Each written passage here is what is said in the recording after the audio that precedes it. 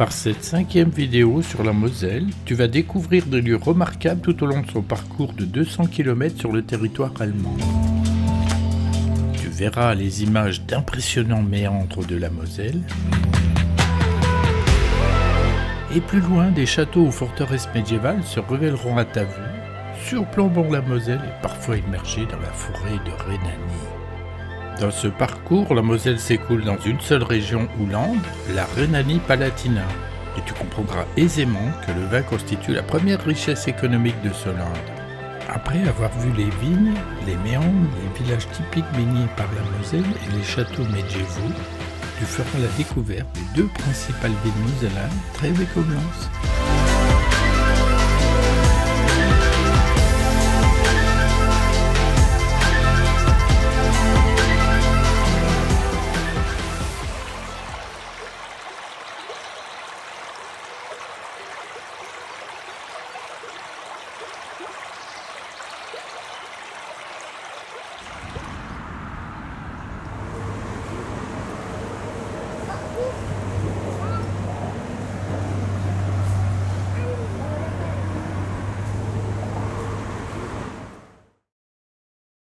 La piste cyclable longeant la Moselle est un paradis pour les cyclistes. En fait, tu peux réaliser le parcours complet de la source jusqu'au Rhin sur quasiment que de la piste réservée.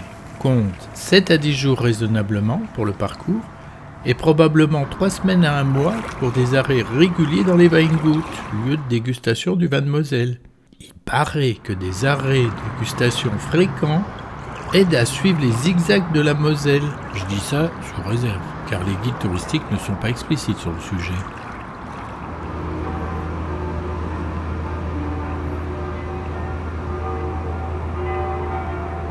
Ce viaduc est le second plus grand pont d'Allemagne.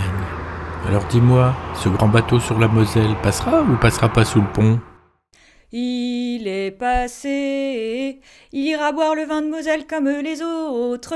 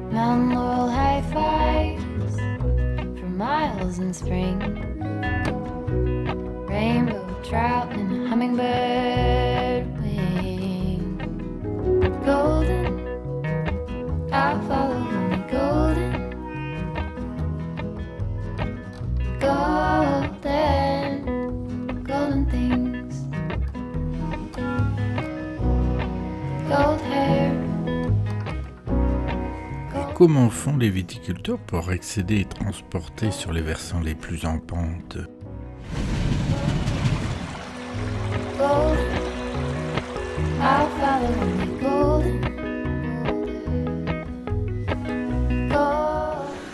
Voilà, il y a des engins mécanisés sur rail à crémaillère.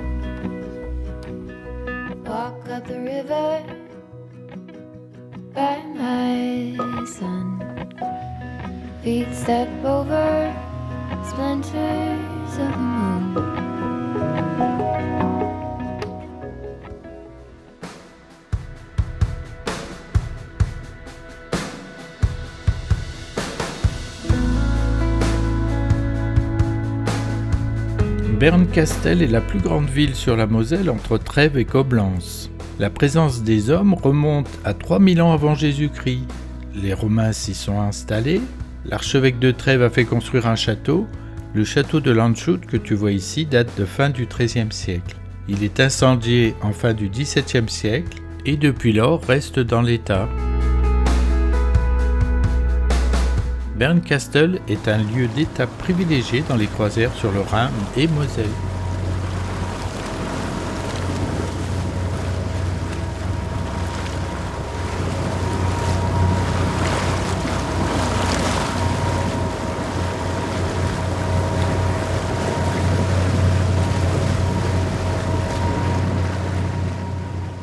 La visite de la ville avec ses maisons typiques à colombage Super, ça vaut le détour.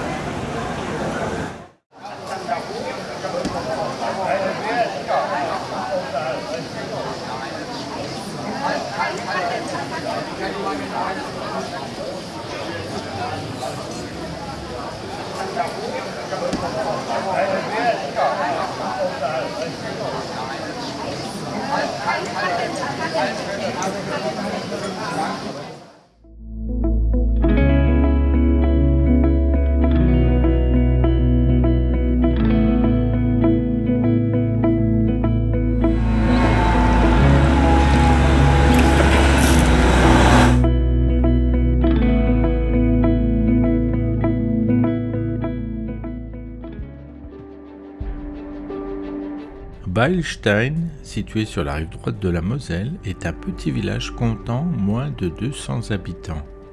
La construction du château qui le domine se situe vers le XIIIe siècle. Malheureusement, le château est détruit par l'armée française en fin du XVIIe siècle lorsque le roi Louis XIV a occupé la région. Cependant, au pied du château en ruine, tu peux découvrir un village très bien conservé.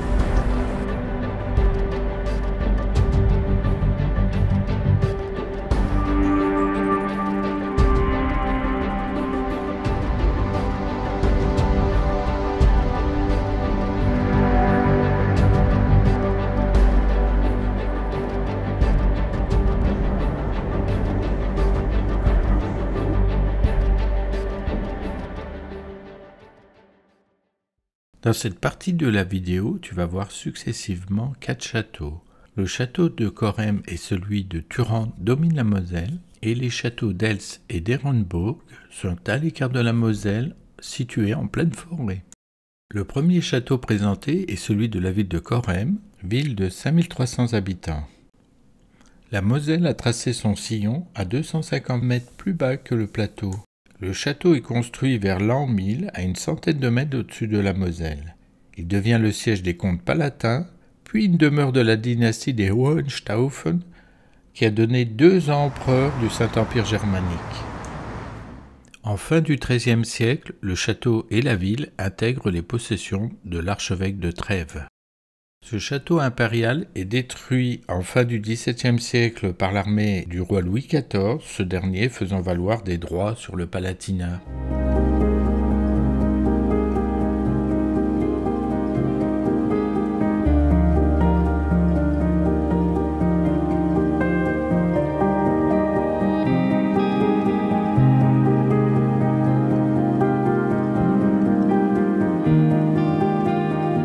Qu'en fin du XIXe siècle que le château est restauré. Un riche industriel fait reconstruire en style néo-gothique en s'inspirant d'anciens plans du château. Il appartient aujourd'hui à la ville de Corrèze.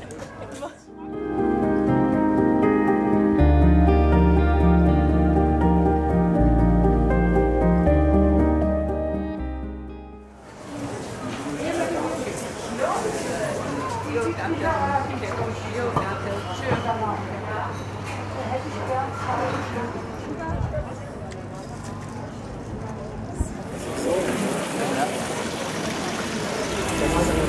출.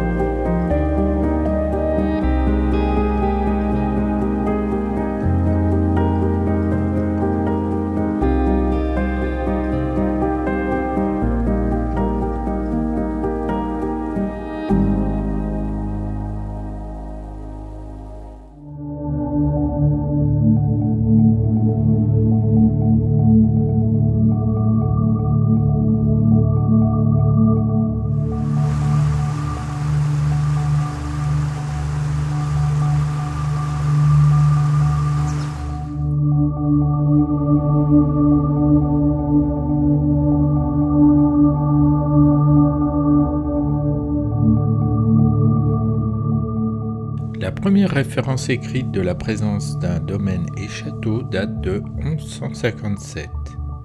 Depuis cette date, le château appartient à la même famille. Il a connu bien des transformations qui lui ont donné cet aspect aux multiples bâtiments. Cela tient du fait que la famille était constituée de trois branches de descendants qui se sont partagés le château et l'ont développé lors de leur cohabitation au cours des 15e et 16e siècles. Le château n'a connu qu'une seule attaque, un seul siège, celui mené au XIVe siècle par l'archevêque de Trèves qui voulait étendre son influence. Le château de cette époque était résistant, ce qui a nécessité deux années pour que l'archevêque réussisse à le conquérir. Grâce à une habile diplomatie de la famille des Hels, le château ne fut jamais détruit dans le temps. En 1815, le comte Hugo Philippe zu Hels, un des membres de la famille propriétaire depuis le XIIe siècle, acquiert toute la propriété. Au milieu du XIXe siècle, le château connaît une importante restauration. La famille veille alors à préserver le patrimoine historique tout en alliant un style romantique avec le style médiéval.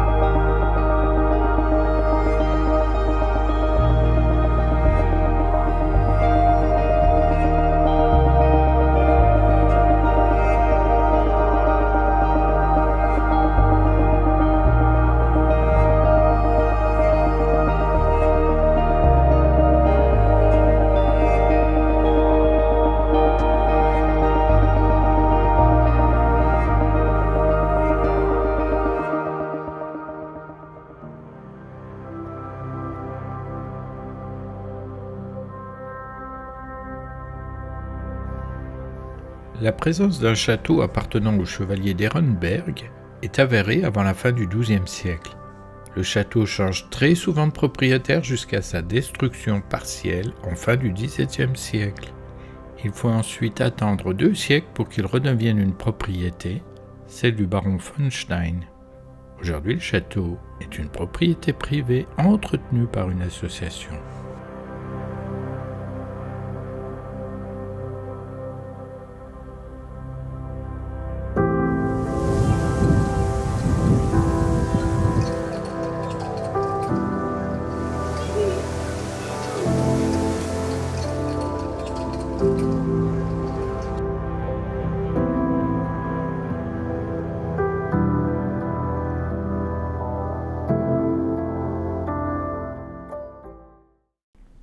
Village d'Alken, sur la rive droite de la Moselle, a connu une présence romaine.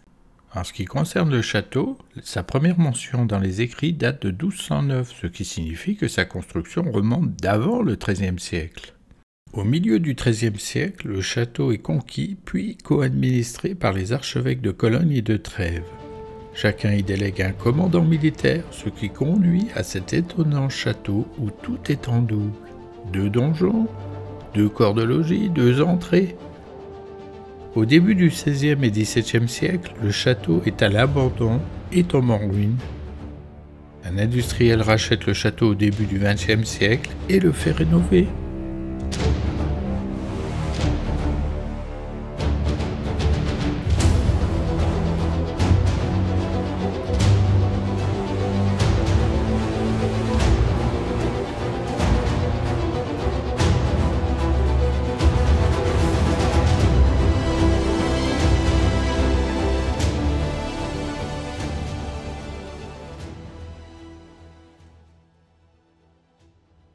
Trèves, avec plus de 110 000 habitants, est la troisième ville la plus peuplée sur la Moselle, après Metz et Coblence. La ville est fondée par les Romains en l'an 16 avant Jésus-Christ. Elle devient une grande métropole marchande, se développant rapidement, 20 000 habitants en l'an 100. Elle compte 80 000 habitants en l'an 300 et elle est qualifiée de seconde Rome.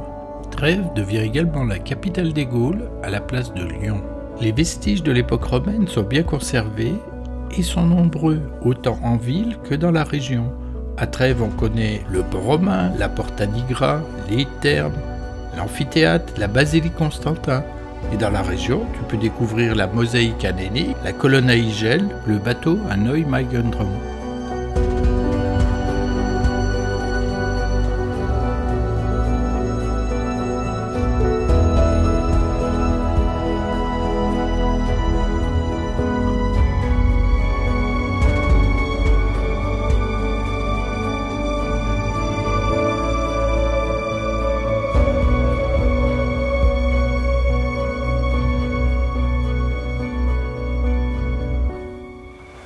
Les Romains construisent un pont traversant la Moselle en l'an 45. Ce pont est le plus ancien d'Allemagne.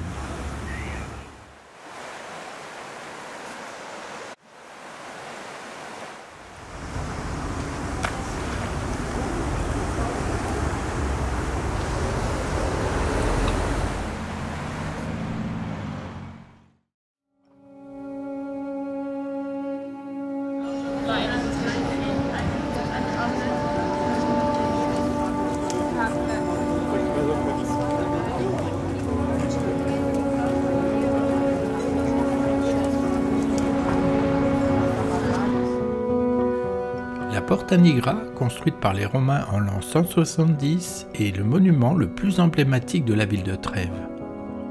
À l'origine, elle constitue la porte nord d'accès à la ville, alors entourée d'un rempart pour protéger la ville des attaques. Elle est constituée de blocs de grès qui ont pris cette couleur sombre au fil du temps, mais il y a bien des siècles.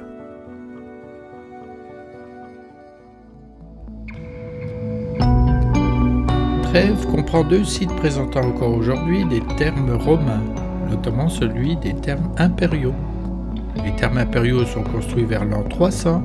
Ils sont dédiés à l'empereur romain qui avait fait de Trèves sa résidence pendant une période.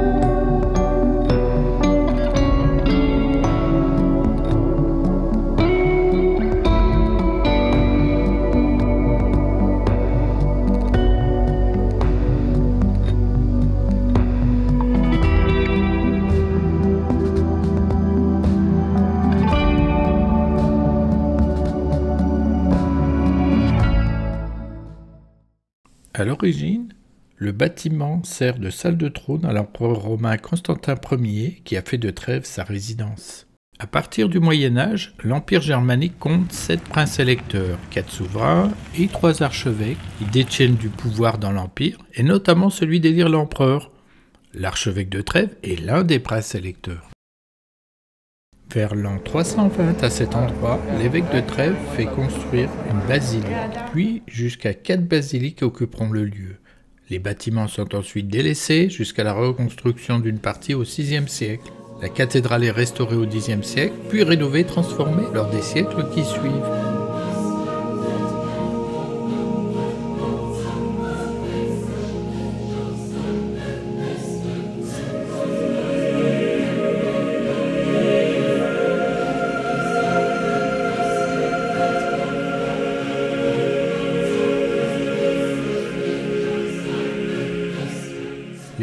Notre-Dame, qui jouxte la cathédrale, apparaît au XIIIe siècle, de même que le cloître.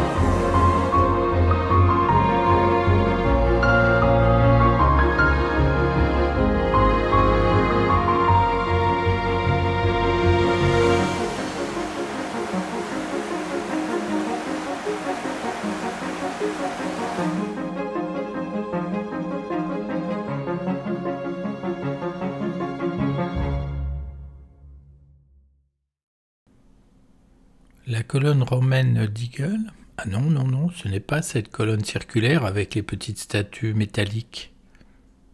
Voilà, la colonne, c'est celle-ci.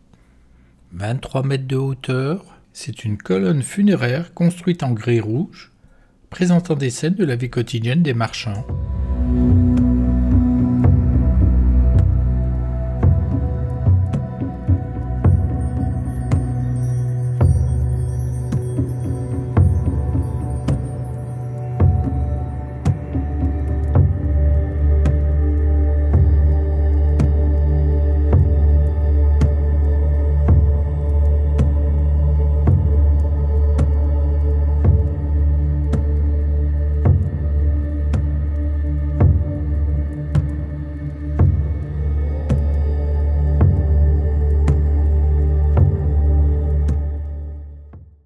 Coblence marque la fin du parcours de la Moselle.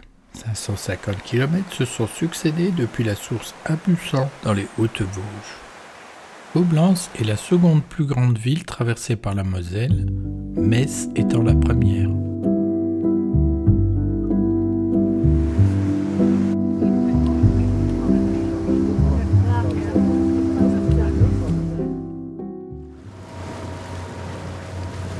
Péniche jaune et bleue circule sur le Rhin et va s'engager sur la Moselle.